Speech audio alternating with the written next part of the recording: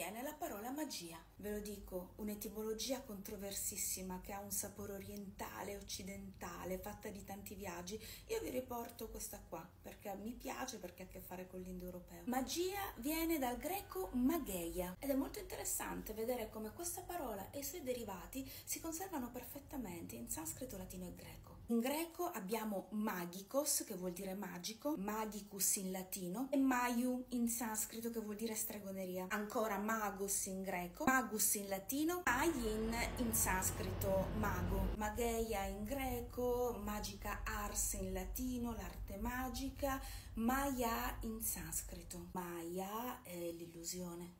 A questo punto la radice indoeuropea di origine verosimilmente è maya che indica il corso della realtà misurabile, ciò che è illusorio, ciò che è ingannevole. Maya è qualcosa che copre quello che è vero. Ricordiamo nell'Ottocento il velo di Maya di Schopenhauer. Schopenhauer si era appassionato ai Veda, dove c'era Maya, che era questa divinità dell'illusione. Non è arrivato un frammento di Eraclito, o Eraclito, che dice che la natura ama nascondersi. Il tema del velo lo troviamo anche nel velo di Iside. E poi, insomma, contemporaneo, stiamo parlando di Matrix. Esiste una realtà che noi non vediamo perché coperta da un velo, perché c'è un'illusione. E questa illusione è la magia, che viene presa e raccontata dal mago rendendo tutto magico. Il mago accontezza che siamo circondati da un'illusione. Per questo la rende magica e quindi crea la magia. Fatemi sapere